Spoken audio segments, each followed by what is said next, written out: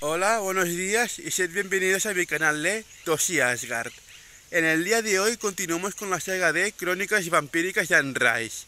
Y lo hacemos con el tercer libro de la saga, La Reina de los Condenados, que es mi favorito de, de toda la saga. Aunque La Reina de los Condenados se considera el tercer libro de la saga, debemos tener en cuenta que, que es una continuación directa de El vampiro Lestat.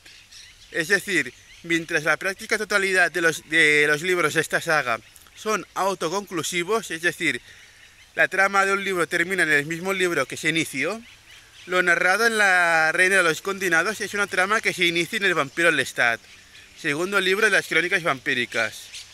De ahí que considero que en realidad es una trama... De ahí que considero que, uh, considero que en realidad es una trama dividida en dos libros. En pie, lo que termina en el vampiro, lo que, lo que se inicia en el vampiro Lestat, termina en la reina de los condenados. Voy a dividir este vídeo en dos partes. Primero os voy a hablar sobre la trama, luego os voy a dar mi opinión sobre la misma. Y ahora empecemos. Al empezar a leer esta novela nos encontramos con que hay diferentes subtramas. Cada capítulo narra una parte de esa subtrama que al final se unen en una en una de sola, que es la trama principal. En mi opinión, este libro se divide en siete subtramas. Y, estas siete subtramas son la introducción, le estás junto a casa, le estás junto a casa. La historia de Baby Jane sería la tercera.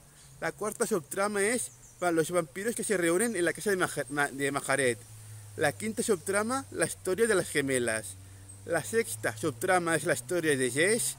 La séptima y última subtrama sería ya la, el tramo final, donde todas las subtramas se unen en una de sola y al final.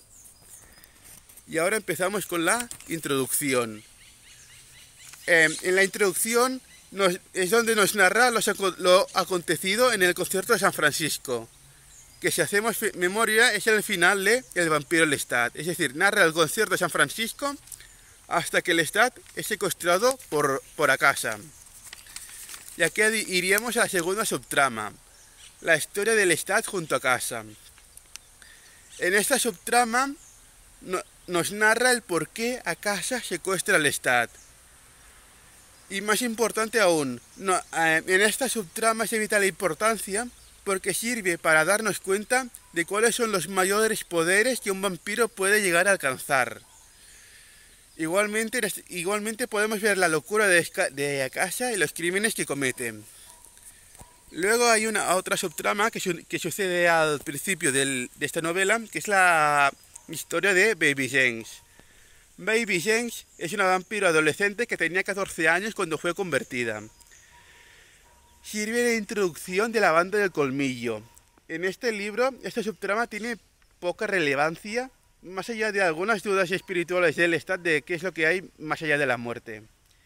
Más allá, en futuros libros de la saga, hay algunos personajes secundarios cuya introducción está en esta saga. Ya hablaremos de ello en estos libros. Eh, luego está, vampiros se reúnen en la casa de Majaret. Diversos vampiros, la mayoría de los cuales ya habían salido en, anteriores, en los dos libros anteriores de Crónicas Vampíricas, se reúnen en la casa de Majaret para tratar, tratar de buscar una solución a la quema de la casa. Y es ahí donde, la, donde Majaret cuenta la historia de las gemelas. Y ahora vamos a la subtrama de la historia de las gemelas. Majaret cuenta su historia, la de su hermana gemela Mekare, y la de por qué odian y hay que derrotar a casa. Esta subtrama es de vital importancia ya que en ella encontramos el origen de la especie vampírica eh, por qué existen los vampiros en el, mundo de, de. La historia de Majaret es la siguiente.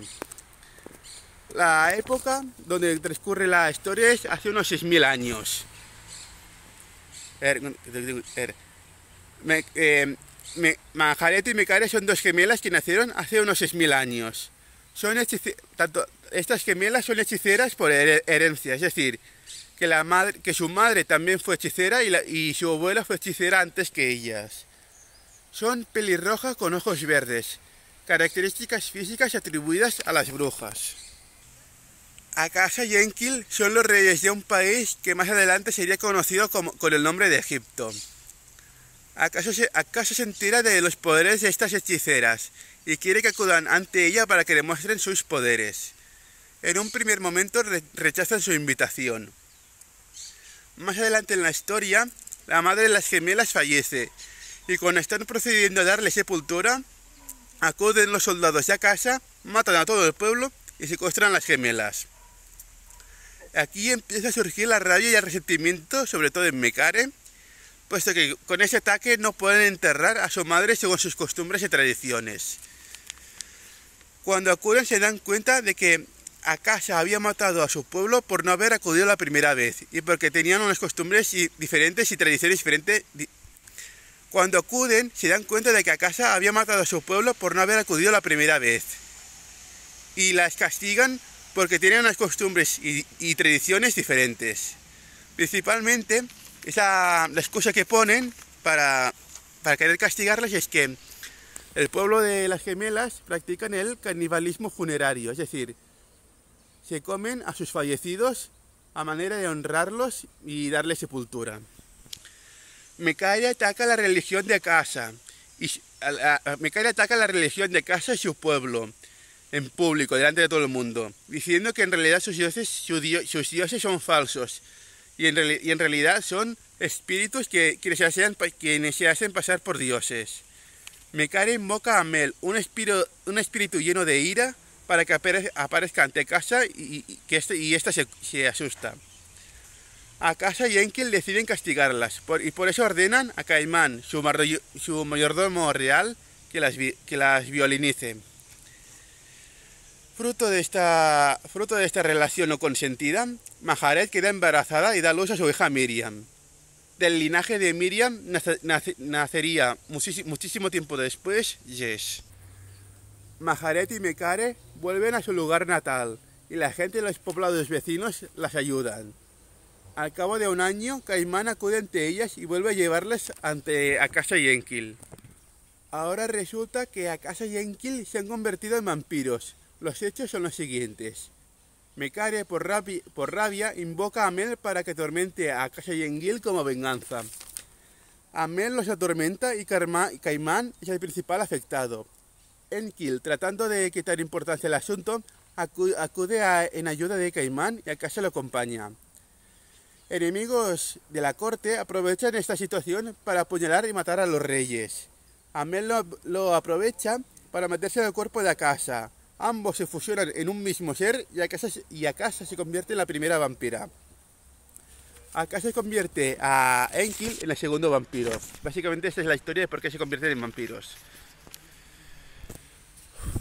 Akasa quiere respuestas y que las hechiceras ah, las curen, pero no pueden. Por eso Akasa decide que deben morir.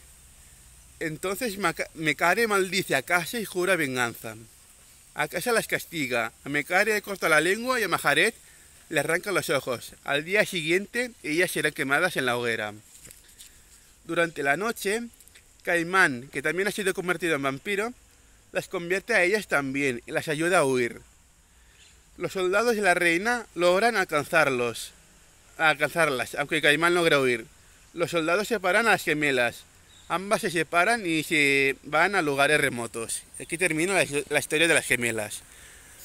Ahora vamos a la historia de la subtrama de Jess. Jess es descendiente de Maharet. Jess ha recibido dones, dones de bruja y puede observar espíritus y fantasmas. Y debido a ello, la Talamasca, una organización que se dedica a lo paranormal, contacta con ella para que trabaje con ellos y puedan utilizar sus habilidades para estudiar estos fenómenos. Jess, trabaja con ellos unos años hasta que acude al concierto del Estado en San Francisco, donde es herida de gravedad y convertida en, vampira por Majaret para evitar su muerte. Esta sería la subtrama de Jess. Entonces Jess se, va a la casa de Majaret. Y la trama final consiste a casa junto al Estado aparecen en la, en la casa de Majaret para poner punto final en la historia.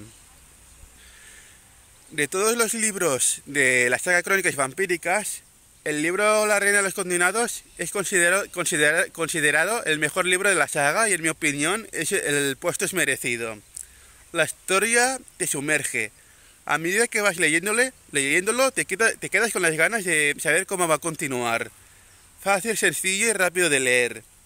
En cuanto a la historia, al añadir brujería y los espíritus como origen del vampirismo, añade misticismo a la historia. Hay un inicio mágico y me gusta en, este origen. Más, más, adelante, en futuros libros, se sabrá el por qué Akasha hizo la matanza que hizo. No se cuenta el por qué Akasha actuó así, no se cuenta en este libro, se cuenta en otro libro. y hablaré en, en futuros libros acerca del por qué, cuáles fueron sus motivaciones. Y aquí termina el vídeo, esperando que, os haya gustado. Dale like, suscribíos y dale a la campanita, que es gratis. Espero que, espero que os haya gustado y hasta la próxima.